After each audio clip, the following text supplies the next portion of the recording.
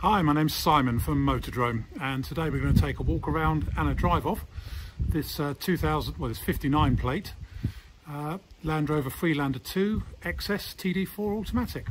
Hope you like it. Okay, let's have a look around this uh, 59 plate, so either late 2009 or early 2010. Uh, Land Rover Freelander 2 XS TD4 automatic, so a nice high spec one. Um, finished in metallic grey. I think it's Bonatti grey, but I'll uh, see if I can look it up on the colour code. Um, fitted with 19 inch alloys, shod with a matching set of uh, Goodyear tyres, power fold mirrors, um, headlamp wash, front and rear parking sensors, um, automatic wipers and lights, sat nav and everything inside, heated leather, all sorts, got everything this one. Tinted uh, rear windows, no tow bar. Inside basically standard specification, so uh, auto box, cruise control, multifunction steering wheel, Alpine stereo.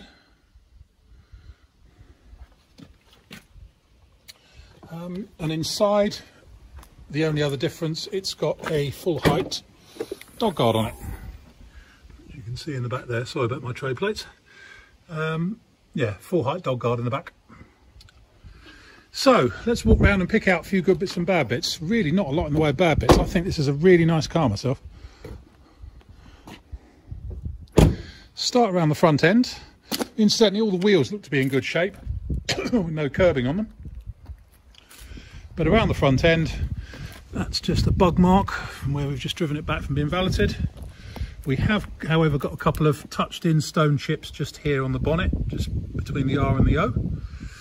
Um, otherwise, no, tiny scratch just there, a small mark just there. That's just a, an insect. Um, again, squashed insect down there from where we've just driven it back from being valeted.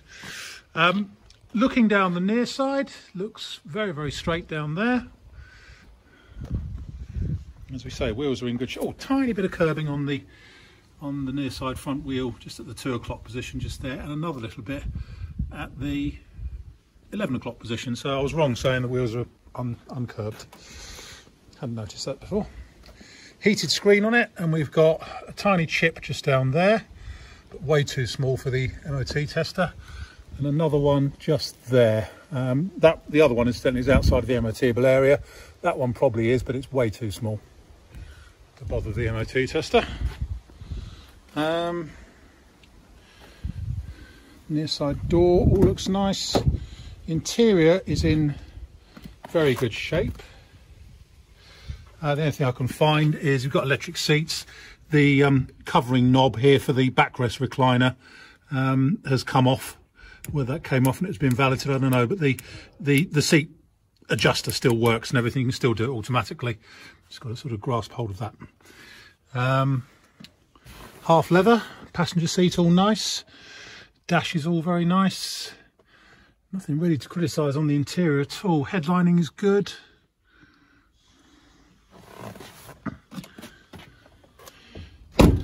Near side door's got a couple of tiny touched in marks just there um, and another couple just there.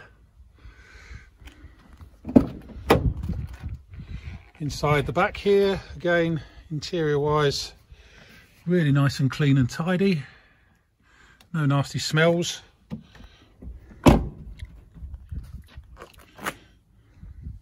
Near side rear wing is all good. Roof is all nice. Around the tail end, it's all good. We'll just open up the boot again. So ignore my uh, tray plates in the corner.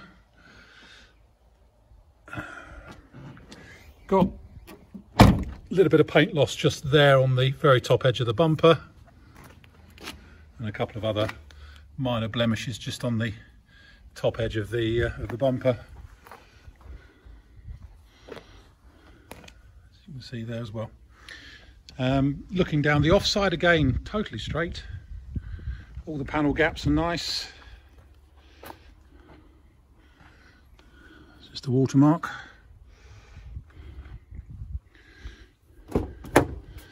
In the back here. Again, interior very nice.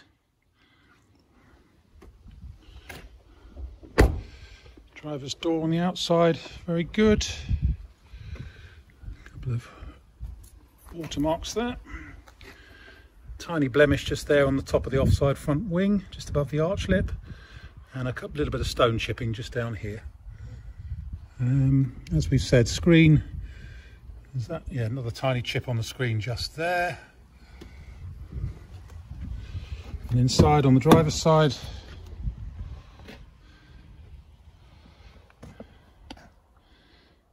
all very nice. So I think this is a really good car. Quite happy to uh, keep and run this myself, I think. Um, my name's Simon. You can reach me in the office on 0118 907 1495 or you can go to our website which is www.moto-drome.com for any more info.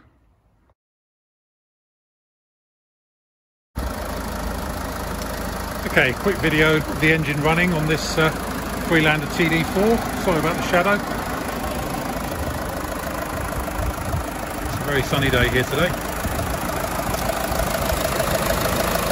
Aircon's running as well.